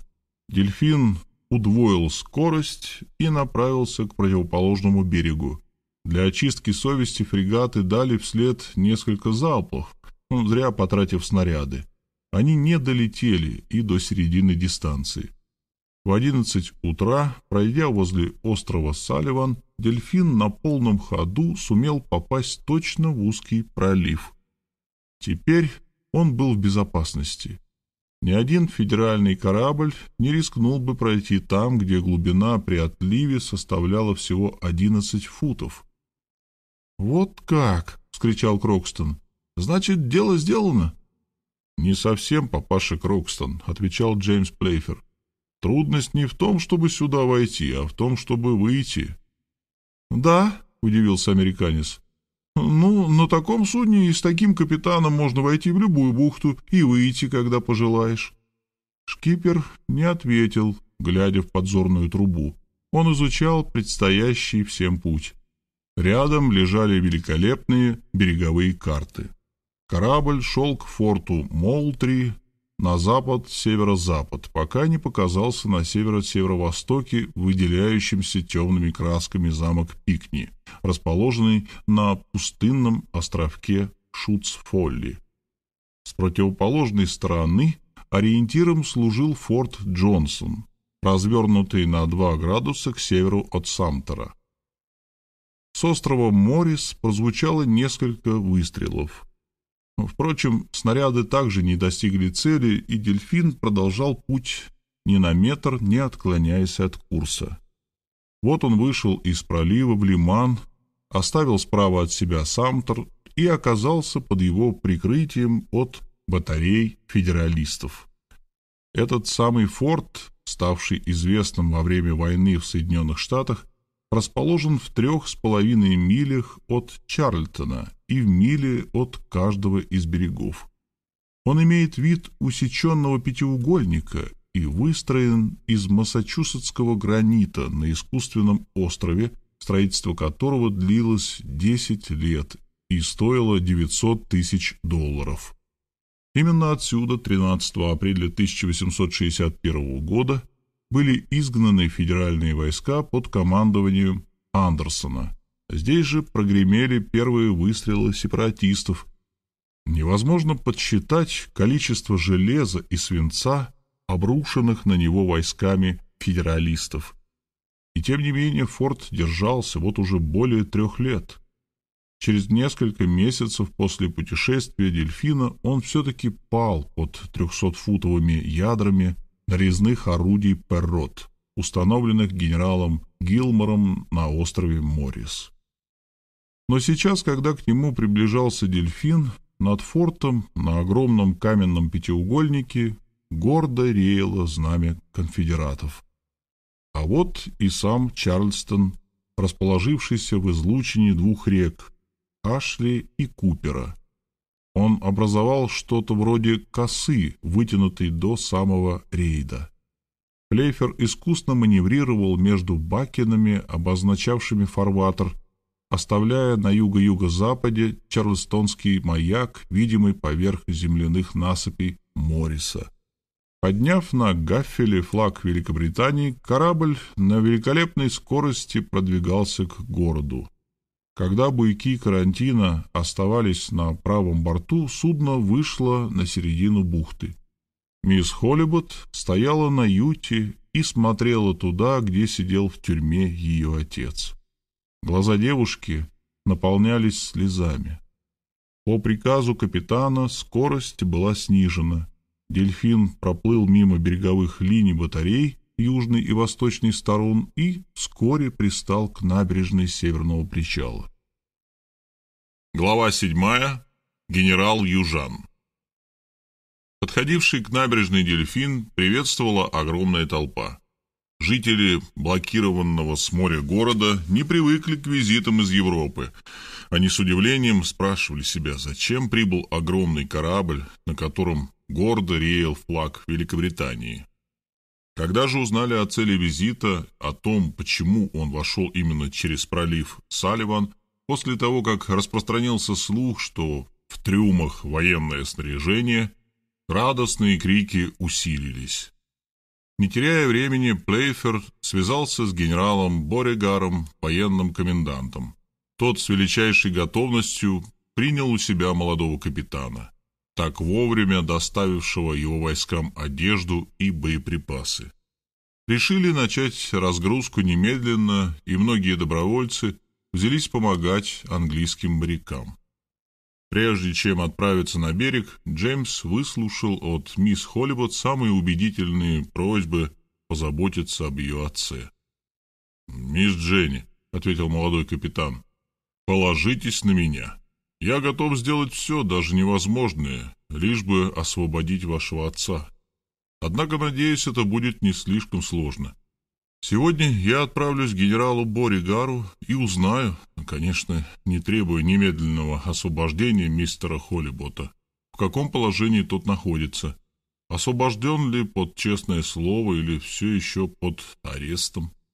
«Бедный отец», — вздохнула Дженни, — «даже не знает, что дочь его рядом. Ах, если бы я могла броситься к нему в объятия!» «Терпение, терпение, мисс Дженни и скоро вы сможете обнять отца. Обещаю действовать со всей преданностью вам, но также с осторожностью и вниманием. Верный общению шкипер обсудил от имени фирмы сделку, то есть передав груз генералу и договорившись о приобретении за малую цену огромного запаса хлопка, перевел разговор на события повседневной жизни. «Верите ли вы в победу сторонников рабства?» — спросил он. «Ни минуты не сомневаюсь», — воскликнул в ответ Боригар. «Что касается Чарльстона, то армия Ли вскоре прорвет блокаду». Ли Роберт Эдвард, 1807-1870, генерал, главнокомандующий армией южан, возглавивший силы Юга в 1862 году. Даже если предположить, хотя этого никогда не будет, что торговые города Виргиния, обеих Каролин, Джорджии, Алабамы и Миссисипи окажутся в руках северян, что их ждет дальше? Разве можно стать хозяевами земли, которую они никогда не смогут покорить? Если аболюционисты победят, им же будет хуже. — А вы вполне уверены в ваших солдатах, — продолжал капитан. Не боитесь, что Чарльстон может не выдержать блокады? Она ведь разорительна. О нет, я не опасаюсь предателей. К тому же их у нас казнят без жалости. Если только наметится какое-то движение в пользу Федерации, я уничтожу город огнем и мечом. Чарльстон доверен мне самим Джефферсоном Дэвисом. И можете не сомневаться, город в надежных руках. Джефферсон, 1808-1889, президент рабовладельческих конфедеративных штатов Америки в период гражданской войны. «А у вас есть пленные северяне?» Подошел Джеймс Плейфер к интересующему его вопросу. «Да», — отвечал генерал, — «ведь именно в Чарльстоне пролилась первая кровь во имя отделения. Те аболиционисты, которые тут были, вздумали сопротивляться. Теперь они наши пленные. И много их? Около сотни. Они на свободе, в городе? Были на свободе, пока не устроили заговор. Главари установили связь с осаждающими, и те оказывались в курсе всего, что у нас тут происходит. Пришлось взять под стражу коварных гостей. Многие из них выйдут из тюрьмы только, чтобы прогуляться на крепостной вал. А уж там десять пуль из ружей конфедератов смогут сладить с их федералистскими убеждениями. Неужели их расстреляют? Невольно содрогнулся молодой человек. А как же? И прежде всего предводителя, которого крайне опасно держать в осажденном городе. Я послал взятые у него письма президенту в Ричмонд, и через восемь дней судьба негодяя будет решена. Кто же он? Журналист из Бостона. Закоренелый аболиционист. Верный пес Линкольна. Можете его назвать? Джонатан Холливуд. Бедняга, заметил Джеймс, стараясь казаться спокойным. Что бы он там ни совершил, все-таки его жаль. Вы думаете, этого журналиста действительно расстреляют? Уверен, на войне как на войне. Надо защищаться. И все же это не по мне, заметил капитан. А впрочем, я тогда буду уже далеко. Как? Вы хотите сказать, отправляетесь назад? Да, генерал, ведь прежде всего мы коммерсанты. Вот закончится погрузка и в море. Корабль прошел сюда, в Чарльстон. Ну, прекрасно, но надо еще и выйти отсюда. Дельфин — хорошее судно и обойдет любой корабль федерального флота. Но как бы быстро дельфин не двигался, ему не обогнать ядро в сотню футов. А с таким грузом, засевшим в корпусе или паровом механизме, придется поставить крест на всем предприятии. «Как угодно, капитан», — отвечал Боригард. В подобных случаях не стоит навязываться в советчики. На вашем месте я поступил бы так же. Да и само пребывание в Чарльстоне не слишком приятно. А рейд, по которому лупят бомбами три дня из четырех, никак не назовешь тихой гаванью. Отправляйтесь, когда вам будет угодно. Скажите только, каковы силы и количество кораблей федералистов, блокирующих Чарльстон. Шкипер постарался ответить как можно подробнее и чрезвычайно любезно распрощался с генералом. Затем возвратился на дельфин, опечаленный новостями. «Как сказать мисс Дженни?» — думал он. «Неужели ей придется узнать обо всем? Или пусть остается в неведении?» У самого трапа шкипер столкнулся с Крокстоном. Американец явно его поджидал. «Как дела, капитан?» Джеймс пристально посмотрел на Крокстона, и тот понял, что благоприятных известий нет. «Видел Боригара?» «Да». «Говорили о мистере Холлиботе?» Он сам заговорил о нем. «Ну и как, капитан?» «Ах, ладно. Тебе ведь можно рассказать все?» «Конечно. Ну, так вот, генерал Боригар сказал, что твоего хозяина через восемь дней расстреляют. Другой бы на месте Крокстона пришел в ярость или разразился горестными предчитаниями, но американец лишь ухмыльнулся. «А это не важно», — промолвил он. «Как?» — воскликнул шкипер. «Говорю же тебе, через восемь дней мистера Холлибота расстреляют. Да, но через шесть он будет уже на борту дельфина, а через семь мы выйдем в открытое море. Верно, обрадовался капитан и пожал руку Крокстону. Понимаю тебя, старина. Ты человек решительный, а я, невзирая на дядю Винсента и на ценный груз, готов вылезти из кожи вон, лишь бы помочь мисс Дженни. Не надо лезть из кожи вон, небрежно заметил Крокстон. Главное освободить мистера Холлибота. Но знаешь, как это трудно. Ну, подумаешь, да ведь надо установить связь с заключенными, а его стерегут день и ночь. Конечно. И привести в исполнение побег, который практически невозможен. Ну уж нет, возразил Крокстон. Каждый заключенный гораздо больше думает о том, как ему убежать, чем сторож, как устеречь. Поэтому все шансы на стороне заключенного. Так что мистер Холлибуд с вашей помощью окажется на свободе. Пожалуй, ты прав. А я всегда прав. Но все-таки как это случится? Нужен какой-то план. Подумаю.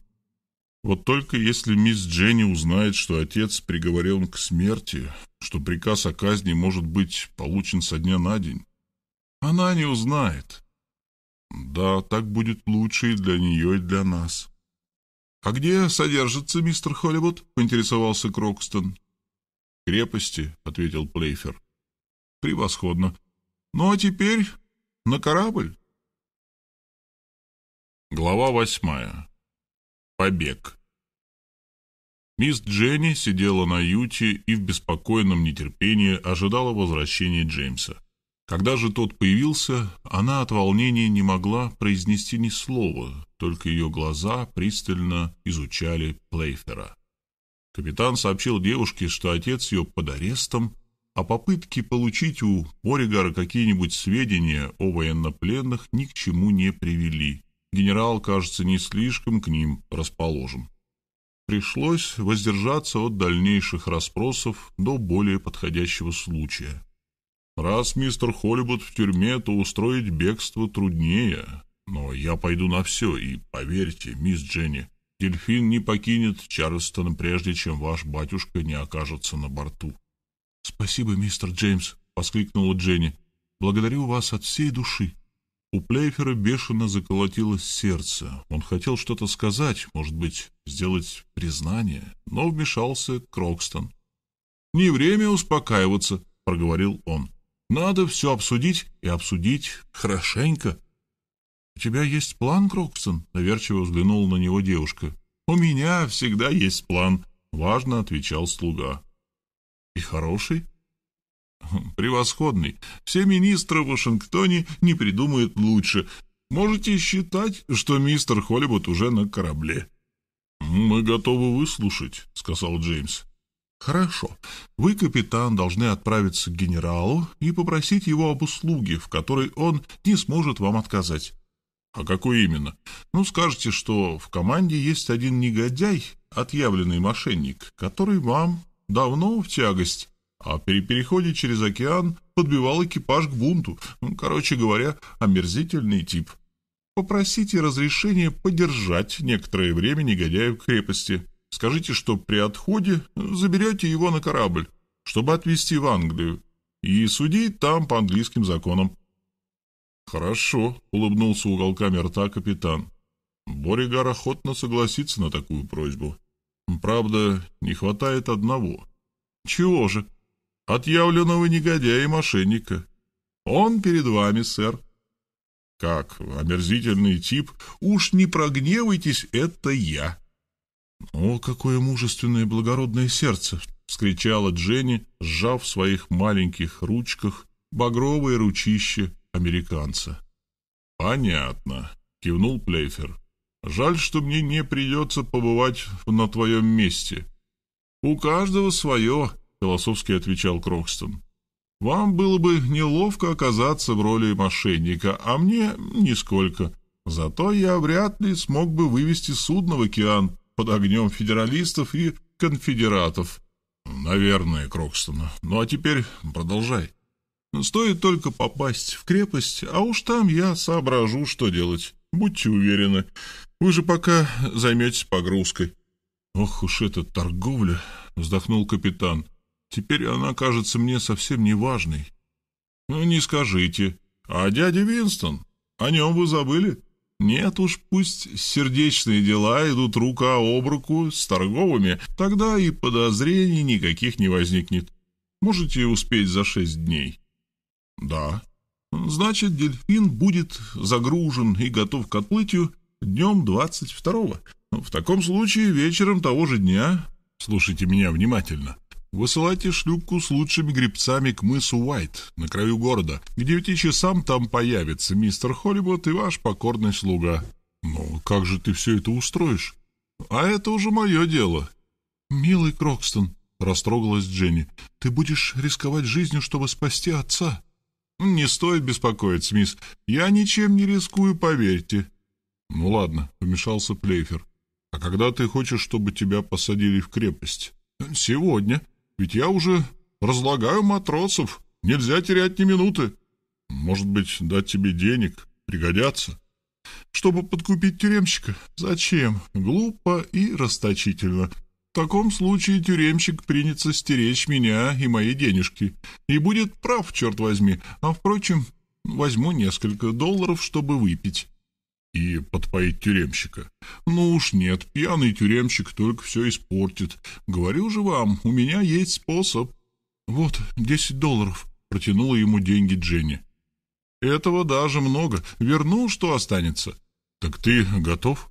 Совершенно готов стать отъявленным мошенником. Тогда отправляемся. Крокстон, проследилась девушка, ты лучший из всех, кого я знаю. «Это меня не удивляет», — ухмыльнулся американец. «Кстати, капитан, один немаловажный совет». «Какой?»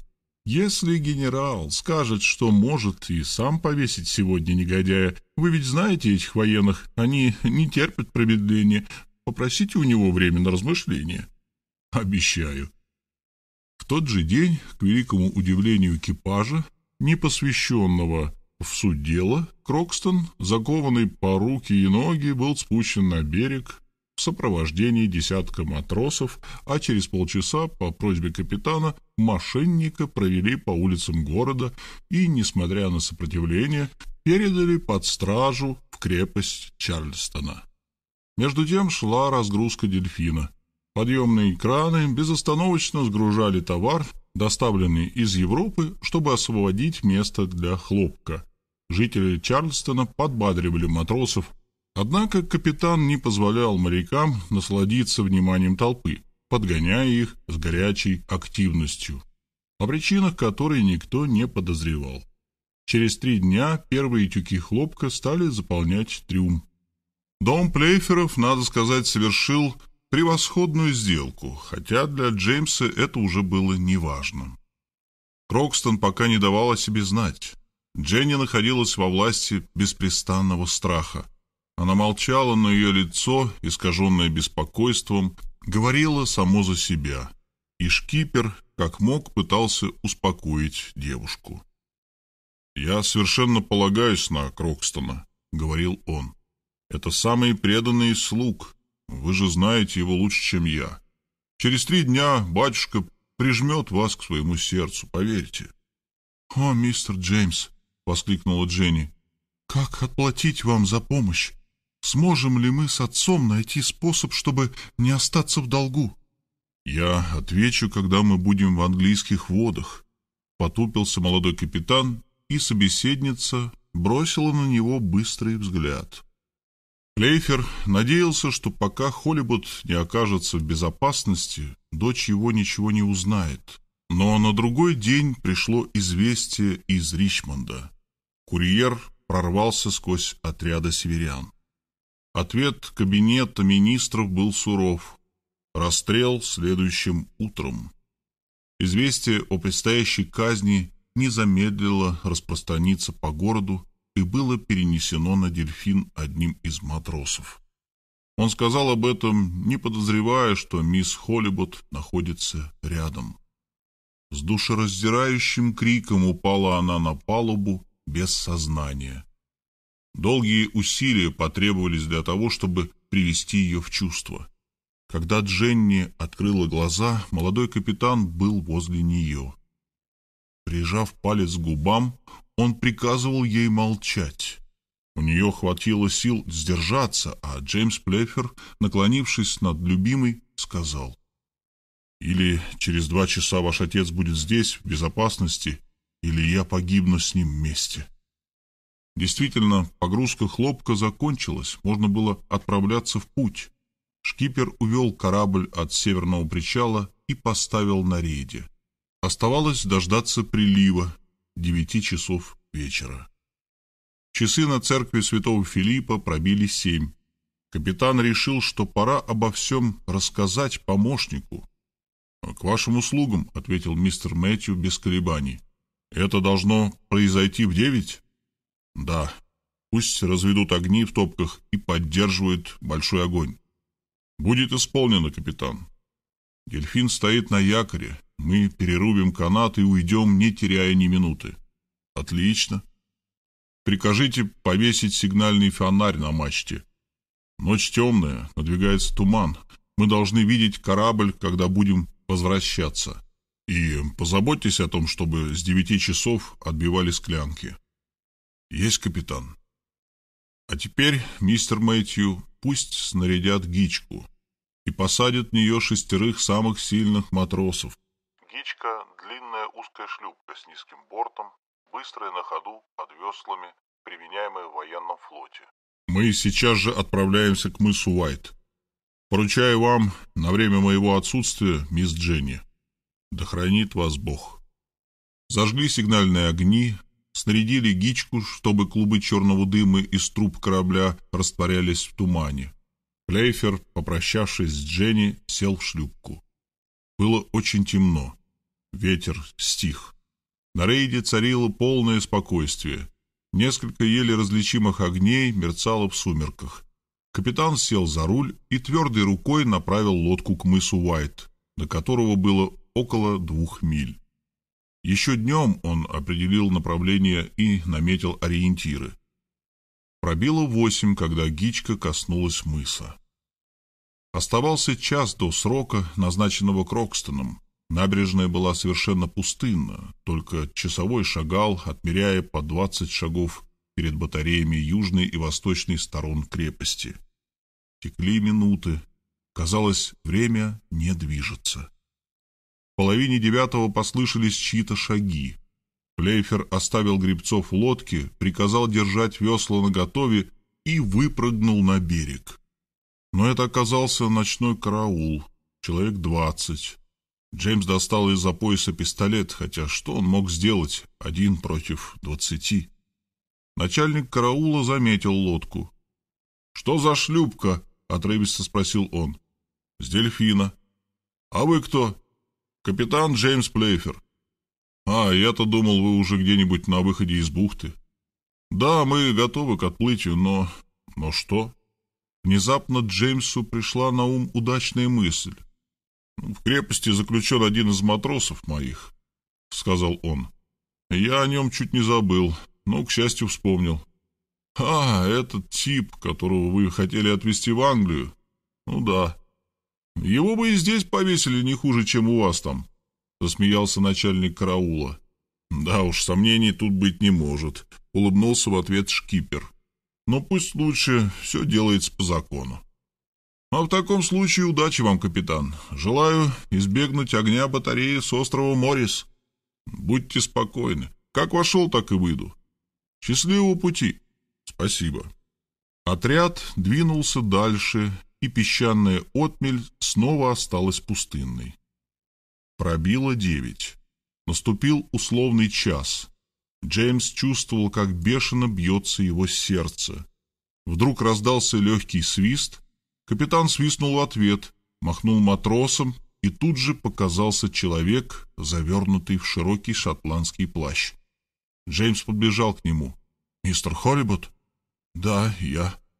«Слава богу. Садитесь поскорее в лодку. А где Крокстон?» «Крокстон?» — удивился мистер Холлибуд. «Ну да, тот, кто освободил вас, привел сюда». «Но меня привел тюремщик из крепости». «Тюремщик?» Капитан ничего не мог понять. Тысячи подозрений вихрем кружились у него в голове. «Ну да, тюремщик», — воскликнул знакомый голос. «Тюремщик? Да он спит, как сурок в моей камере». «Крокстон, ты ли это?» — изумился его хозяин. «Все, больше ни слова. Потом объясню. Дело идет о жизни и смерти. Садитесь, садитесь». Все трое заняли места в лодке. «Весла на воду», — скомандовал капитан. Шесть весел одновременно опустились в уключины. «Полный вперед!» и как рыба, соскользила по темным волнам Чарлстон-Харбора. Глава девятая. Между двух огней. Гичка, подгоняемая веслами шести могучих гребцов, летела по поверхности залива. Туман сгущался, и шкипер прилагал все силы, чтобы не сбиться с пути. Крокстон уселся на носу, а мистер Холлибуд сзади — Недавний узник крепости, немало озадаченный появлением своего слуги, хотел расспросить его о многом, но тот жестом просил молчать. Только через несколько минут, когда Гичка вышла на рейд, Крокстон решился заговорить. «О, да, хозяин», — сказал он. «Стражник валяется на моей койке в камере, куда я определил его двумя ударами кулака, одним по затылку, а другим в живот в качестве снотворного. И все за то, что он принес бедному узнику ужин. Какова благодарность. Я надел его платье, забрал ключи, нашел вас и вывел из крепости под носом у солдат. Это было не так уж сложно. «Но что с моей дочерью?» — волнуясь спросил мистер Холлибот. «Она на борту корабля, который везет нас в Англию». «Моя дочь здесь?» — вскричал американец, вскакивая со скамейки. «Спокойствие», — произнес Крокстон. Еще несколько минут, и мы уже на корабле. Шлюпка летела вперед, но двигалась во мгле наугад. Джеймс никак не мог разглядеть сигнальные огни дельфина. Таким густым стал туман. Какое же избрать направление? Темнота хоть глаз выколи. Гребцы не различали даже концов своих весел. «Мы прошли более полутора миль», — сказал Плейфер. «Ты ничего не видишь, Крокстон?» «Э, «Ничего, а ведь у меня хорошее зрение. Мы должно быть где-то рядом с судном. Жаль, что они там ни о чем не подозревают». Не успели прозвучать эти слова, как тьму осветила ракета, разлетевшаяся разноцветными огнями. «Сигнал тревоги!» — воскликнул капитан. «О, черт!» — сказал Крокстон. «Должно быть, это из крепости. Подождем». Вторая, третья ракеты взвились следом за первой, и почти сразу такой же сигнал был дан в миле от лодки. «Это из форта Самтер», — нахмурился Крокстон. «Гребите сильнее, побег раскрыт». «Наляжем на весла, друзья», — подбадривал матросов шкипер. Ракеты осветили нам путь. Видите, дельфин лишь в восьмистах ярдах. Слышите, звонит судовой колокол. Двадцать футов на всех, если через пять минут пришвартуемся. Матросы налегли на весла. Лодка просто летела над волнами. Со стороны города раздался пушечный выстрел, и Крокстон скорее услышал, чем увидел, как в двадцати сожжениях от лодки пронеслось массивное тело пушечного ядра но Гичка была уже рядом с дельфином. Еще несколько взмахов весел, и она пристала к борту. Дженни бросилась в объятия своего отца. «Мистер Мэтью, как давление в котлах?» — поспешил на ют капитан. «В порядке, капитан. Рубите якорный канат и полный вперед. Нечего и думать, чтобы идти через пролив возле Салливана. Попадем под огонь конфедератов. Будем держаться правой стороны, хотя есть опасность получить залп от федералистов. Погасите сигнальные и бортовые огни. Нам хватит отсветов от машины. Корабль шел на предельной скорости. Меняя курс, чтобы выйти на правую часть рейда, он на время приблизился к Самтеру и оказался менее чем в полумили от него. Внезапно все амбразуры форта осветились огнем, и целый ураган железа пронесся перед носом дельфина. «Слишком рано, неудачники!» — расхохотался Плейфер. «Форсируйте двигатель, господин инженер. Необходимо проскочить между двумя залпами». Кочегары бешено бросали уголь в топки. Корабль стонал всеми своими шпатгаутами, дрожа так, словно вот-вот развалится на части. Шпангауты — поперечные связующие основного корпуса судна. Грянул второй залп. И снова град ядер рухнул в море, теперь уже позади судна. «А теперь поздно, идиоты!» — воскликнул в восторге молодой капитан. «Не достали!» — подхватил Крокстон. «Еще чуть-чуть, и мы распрощаемся с конфедератами». «Ты думаешь, нечего опасаться форта Самтер?» — спросил Джеймс. «Конечно. А вот из крепости Молтри на краю Салливана очень даже могут достать, но только в течение какой-нибудь минуты. Пускай дождутся нужного момента и прицелятся хорошенько. Ну вот, подходим. Положение крепости Молтри позволяет нам сразу войти в основной пролив. Прибавьте огня еще, еще огня. И сразу, словно командовал сам Джеймс Плейфер, форт осветился тройной линией взрывов. Ужасающий грохот расколол ночное небо. Что-то затрещало на корабле. «Ага, попали!» — завопил в непонятном восторге Крокстон. «Мистер Мэтью», — повернулся капитан к помощнику, — «что там такое?» «Весь топ бушприта снесен за борт». «Кто-нибудь ранен?» «Нет, капитан». Ладно, к черту снасти, вперед в пролив, вперед! Пусть держат на остров. Вот и оставили мы южан, крикнул Крокстон. Ну а если придется подставлять судно под выстрелы, то уж лучше под ядра северян, их легче переварить. Да, не все опасности остались позади. Дельфин еще не выпутался из беды. Хотя на острове Морис не было того ужасного оружия, которое установили через несколько месяцев. Его мортиры и пушки без труда могли потопить любое судно. К тому же и федералистов на острове, и артиллеристов на кораблях, блокирующих город, встревожили залпы пушек. Осаждающие ничего не могли понять. Кажется, эта ночная пальба не направлена против них, но тогда против кого же? Корабль стремительно шел по проходу у острова Морис, но выйти в океан не успел. Через четверть часа темнота снова озарилась вспышками яркого света. Целый ливень бомб осыпал судно. Вода вскипела до самого фольшбота.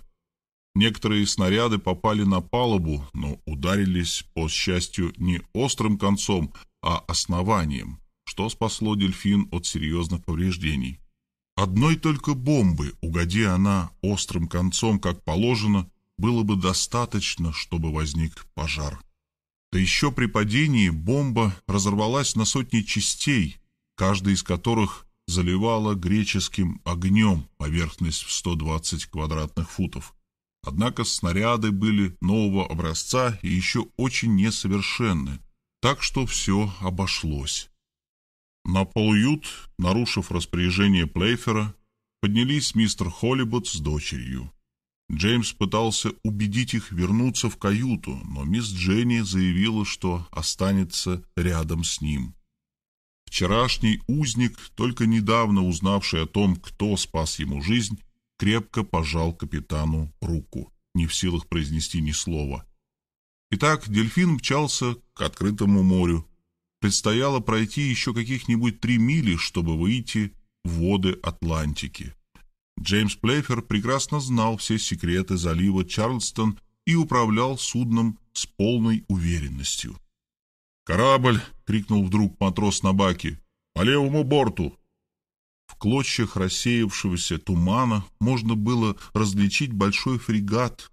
Он разворачивался, чтобы закрыть проход и не выпустить дельфина. Следовало во что бы то ни стало обогнать его, иначе все кончено. «Право руля!» — скомандовал шкипер, и он бросился на ходовой мостик. По его указанию один из винтов остановили, и только на одном, левом, дельфин с невероятной быстротой повернул по окружности с очень малым радиусом, будто разворачиваясь на месте. Этим он избежал столкновения с судном федералистов и вместе с ним устремился к выходу из пролива. По клубам черного дыма, выходившего из труб фрегата, стало ясно, что там тоже форсируют работу двигателя. К тому же противник находился ближе к выходу. Но Джеймса Плейфера трудно было обставить. «Ну, как там у вас?» — крикнул он инженеру. «Давление на максимуме», — ответил тот. «Пар вырывается из всех клапанов». «Закройте клапаны», — последовал приказ, в результате которого мог взорваться паровой котел. Дельфин рванулся вперед. Поршни двигателя с невероятной частотой сотрясали машину. Ужасная картина. Она могла привести в трепет самого бесстрашного человека. «Увеличить давление!» — крикнул Плейфер. «Невозможно!» — отвечал инженер. «Клапаны прочно закрыты. Топки полны углем, под завязку». «Неважно. Бросайте в них хлопок, вымоченный в спирте. Надо обойти проклятый фрегат». Даже самые отчаянные переглянулись, но приказание выполнили. Несколько тюков с хлопком опустили в машинное отделение. Вышибли дно у бочонка со спиртом и не без риска отправили горючее вещество в раскаленные топки. Шум и завывание пламени не давали кочегарам расслышать друг друга. Вскоре чугунные плиты печей раскалились до бела. Поршни метались туда-сюда, словно поршни локомотива. Манометры показывали высочайшее давление. Все соединения корпуса отчаянно вибрировали. Труба выбрасывала языки пламени, смешанные с клубами дыма. Корабль достиг невероятной, безумной скорости. Вот он догнал врага, обогнал его и через десять минут благополучно вышел из пролива. «Спасены!» — закричал капитан. «Спасены!» — откликнулись моряки, хлопая в ладоши. Маяк Чарльстона уже терялся на юго-западе. Огонь в топках полыхал не столь ярко. Можно было считать, что опасность миновала, как вдруг с канонерской лодки, крейсировавшей в открытом море, вылетела и засвистела в темноте бомба. Огненный хвост тянулся за ней. Все замерли. Каждый растерянно смотрел на параболу, которую чертил снаряд в воздухе. Казалось невозможным избежать его. Через полминуты с невероятным грохотом снаряд упал на носовую часть дельфина. Все в ужасе отпрянули. Никто не осмелился сделать и шага к яркой шипящей трубке. Трубка из свинца, заполненная горючим веществом для взрыва картечи, гранаты или бомбы. И вдруг один, самый смелый, подбежал к дьявольскому орудию уничтожения. Это был Крокстон. Он схватил бомбу крепкими руками, тысячи искр летели во все стороны и выбросил за борт. Не успела бомба коснуться поверхности, как раздался взрыв. «Ура!» — закричал экипаж, а Крокстон, довольный, потирал руки. Корабль победно рассекал воды Атлантики. Американское побережье исчезло в темноте. На горизонте вспыхивали огни. Между батареями острова Моррис и форта Чарльтон-Харбор продолжалась перестрелка. Глава 10. Сент-Мунго. На восходе солнца американский берег уже скрылся из виду. Дельфин, умерив бешеную скорость, спокойно подходил к Бермудам. О переходе через Атлантику рассказывать нет смысла. Дорога домой не оказалась отмеченной ничем неожиданным. И на одиннадцатый день перед путешественниками предстали берега Ирландии. Наверное, всем, даже не особенно проницательным читателям, ясно, что произошло за это время между молодым капитаном и девушкой. Каким же еще способом мог мистер Холлибот оценить самоотверженность и смелость спасителя, как не сделав его счастливейшим на свете? Джеймс Плейфер не стал дожидаться возвращения к берегам Англии и высказал все, что было на его сердце. Если верить Крокстону, мисс Дженни приняла признание с радостью, которую не пыталась скрыть. 14 февраля того же года многочисленная толпа собралась под массивной башней собора Сен-Мунго, самого старого в Глазго. Моряки, торговцы, промышленники, местные чиновники, словом, самая разная публика. Отважный Крокстон был свидетелем со стороны мисс Дженни и прямо-таки сиял в зеленом костюме с золотыми пуговицами. Дядя Винсент гордо стоял возле своего племянника. Венчание проходило с большой пышностью. Все знали историю корабля, и каждый считал, что преданность шкипера была высоко оценена. Однако сам он утверждал, что полученное вознаграждение превышает его заслуги. Вечером состоялся праздничный ужин, великолепный бал и раздача мелких монет толпе, собравшейся на Гордон-стрит. Надо сказать, что Крокстон оставаясь, впрочем, в рамках приличий, продемонстрировал незаурядный аппетит. Всех осчастливила великолепная свадьба. Одних их собственным счастьем, других — счастьем близких. Такое вообще-то бывает нечасто при церемониях подобного рода. Вечером, когда толпа приглашенных стала убывать, Джеймс Плейфер расцеловал дядю в обе щеки. «Ну, как вы, дядя Винсент?» — сияя спросил он. «А ты, Джеймс, довольны ли вы чудесным грузом, привезенным мной на дельфине?» Продолжал капитан, поглядывая на свою бесстрашную молодую супругу. «Еще бы!» — воскликнул благородный коммерсант. «Ведь я продал хлопок и получил 375% прибыли».